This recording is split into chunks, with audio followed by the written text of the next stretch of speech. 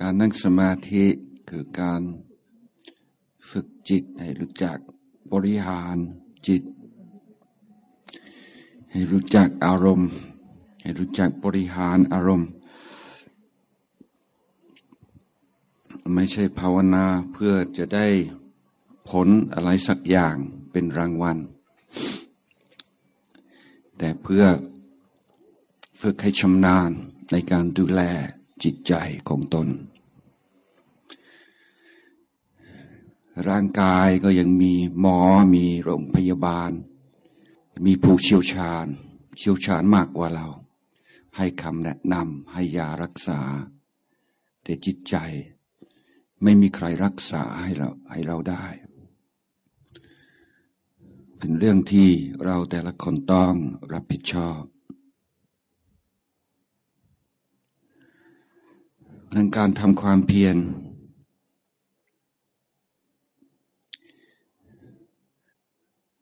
คือการศึกษาในเบื้องต้น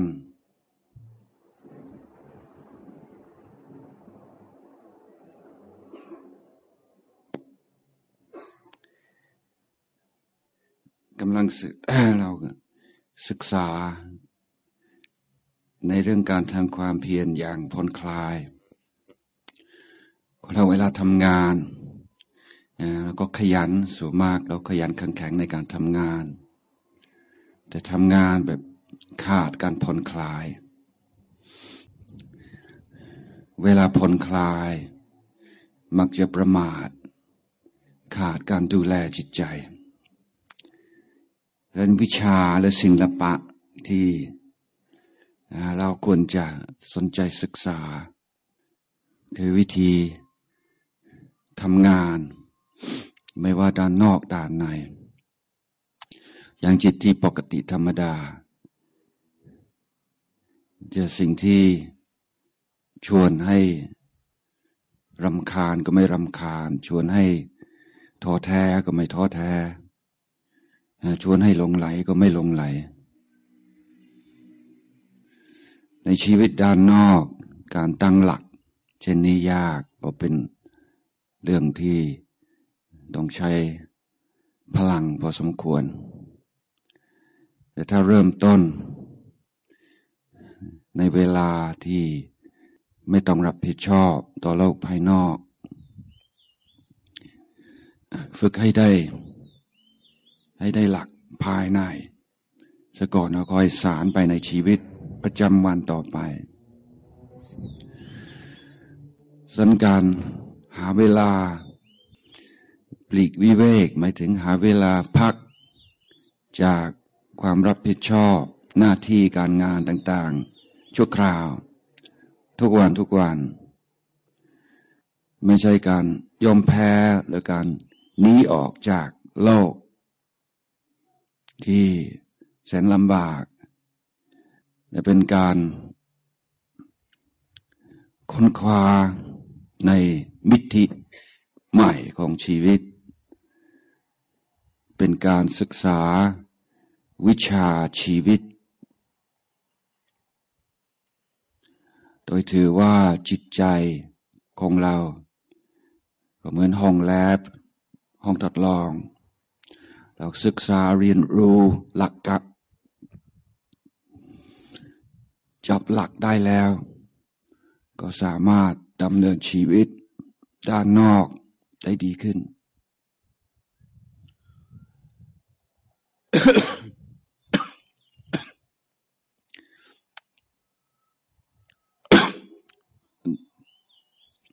เราต้องฝึกให้จิตใจเรามีวินัย แต่วินัยไม่เกิดขึ้นจากการฝืนใจ วินัยเกิดขึ้น เมื่อเรามีปัญญา ที่เห็นคุณประโยชน์ของวินัย เห็นโทษของการขาดวินัย เราเห็นหนทางที่จะสร้างวินัยขึ้นมาในตัวเอง และมีความเชื่อมั่นว่าตัวเองทำได้ นี่ต้องมีปัญญา เห็นโทษในการไม่มีวินัย เห็นประโยชน์ เห็นคุณในการมีวินัย รู้ทางไปสู่วินัย เชื่อมั่นว่าตัวเอง เดินทางไปสู่วินัยได้จะลองไปทำดังการฝึกให้มีวินัย ในทุกๆด้านของชีวิต เริ่มจากการฝึกให้จิตยอม อยู่กับการสัมผัสของลมหายใจเข้าลมหายใจออก เราจะให้จิตใจ อยู่กับสิ่งที่กระตุ้นความรู้สึก มันง่ายมาก เป็นการลอยตามกระแส แต่ในเบื้องต้นกันให้จิตใจ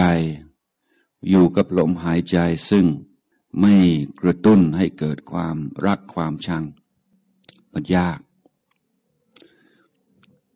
แต่ไม่เลือวิสัยเพียงแต่ว่าเรายังไม่ชิน เรายังไม่คุ้น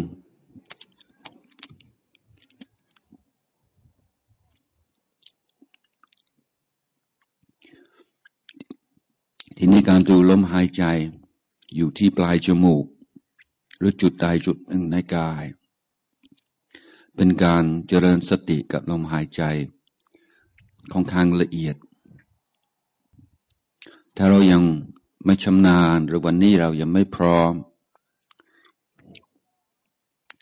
ถึงเริ่มต้นด้วยการรับรู้ตัวลมหายใจแบบสบายๆเสียก่อน สบายสบายหมายถึงการรับรู้ตัวลมหายใจ พร้อมกับความรู้สึกในกายในส่วนต่างๆ ส่วนแรกก็คือ ศีรษะ ใบหน้ากับคอ หายใจเข้ารับรู้รับทราบโดยจิตเป็นกลาง ต่อความรู้สึกที่ปรากฏอยู่ ในศีรษะและคอ ความรู้สึกธรรมดาธรรมดาที่มีอยู่ตลอดเวลา เพียงแต่ว่าปกติเราไม่ค่อยได้ใส่ใจ ไม่ค่อยได้สนใจ หายใจเข้าก็รู้ หายใจออก หายใจออกก็รู้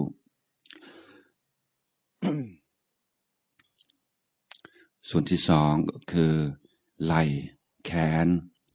มือนิ้วมือ หายใจเข้า รับรู้ต่อความรู้สึกในกายส่วนนี้ จะเป็นความรู้สึกว่าร้อนว่าเย็น ว่าเต้นว่าซาว่าอะไรก็แล้วแต่แบบสบายสบายหายใจเข้าก็รู้หายใจออกก็รู้ ส่วนที่สามก็คือ ลำตัว หน้าอกท้อง หลัง ตั้งแต่ต้นคอตลอดถึงกระดูกก้นกบลำตัว หายใจเข้า หายใจออก รับรู้ต่ออาการที่มีอยู่แล้วโดยธรรมชาติ เช่นการยุบการพองของหน้าอกเป็นต้น หายใจเข้า รู้ หายใจออก รู้ ส่วนที่สี่คือกายตั้งแต่สะโพกลงไปถึงเท้า หายใจเข้า หายใจออก รับรู้ต่ออาการของกาย ส่วนล่างของ ของกายตั้งแต่สะโพกลงไปนี่เรากำลังฝึกให้รู้อยู่ในปัจจุบัน รู้อยู่กับสิ่งที่กำลังปรากฏอยู่ในปัจจุบัน ไม่ต้องใช้จินตนาการ ไม่ต้องวาดภาพ ไม่ต้องปรุงแต่ง สักแต่ว่ารู้อยู่ในปัจจุบันกับสิ่งที่มีอยู่ตามธรรมชาติ ส่วนที่ห้ารับรู้ตัวกายทำปวงตั้งแต่ศีรษะลงไปถึงเท้า หายใจเข้า หายใจออก แบบสบายๆ ไม่มีอะไรที่ต้องคิด ไม่มีอะไรที่เราต้องทำทุกวันนี้ว่างเลย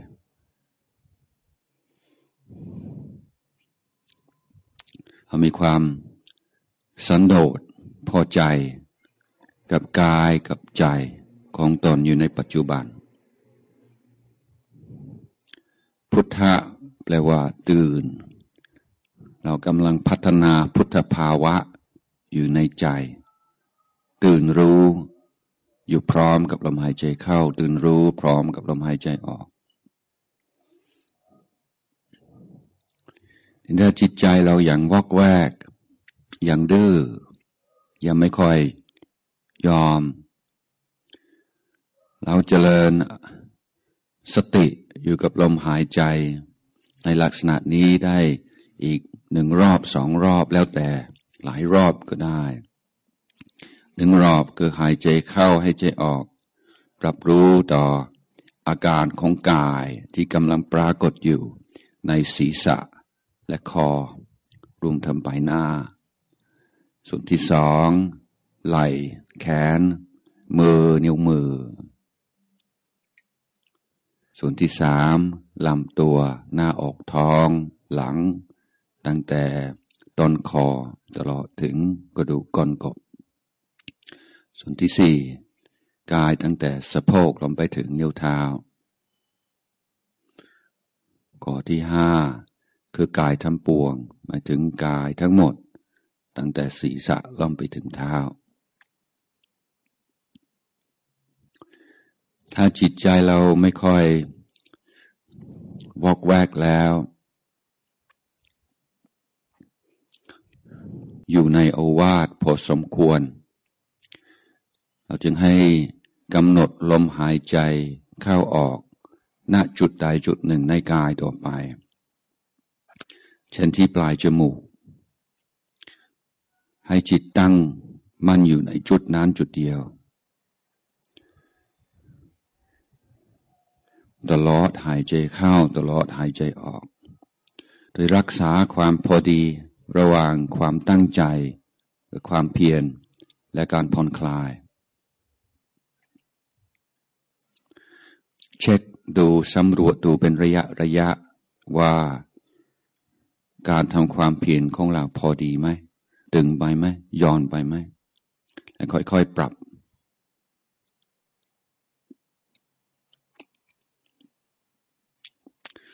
การมีสติกับลมหายใจเข้า ลมหายใจออก ไม่ใช่การเพ่ง แต่ถือเหมือนกับเราอยู่กับคนหรือสิ่งที่เรารัก เรามีความพอใจ มีความสุข ไม่คิดจะไปเที่ยวที่ไหน มีความสุขอยู่กับสิ่งนี้ ตนักภาวนาต้องรู้จักสร้างความรู้สึกที่ดี ต่อลมหายใจ เชื่อมั่นว่าการฝึกสติกับลมหายใจจะนำไปสู่ ความสุขและประโยชน์ในชีวิตโดยแท้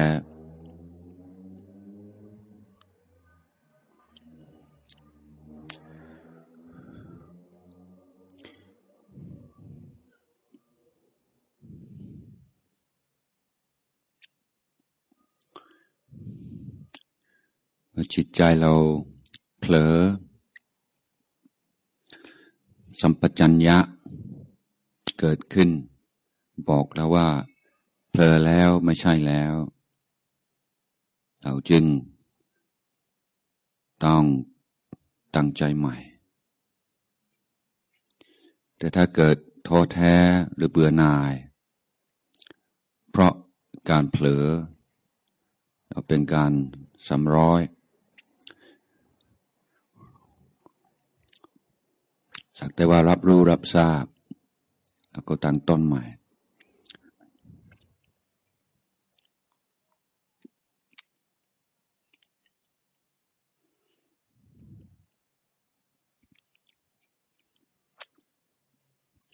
ระยะเวลา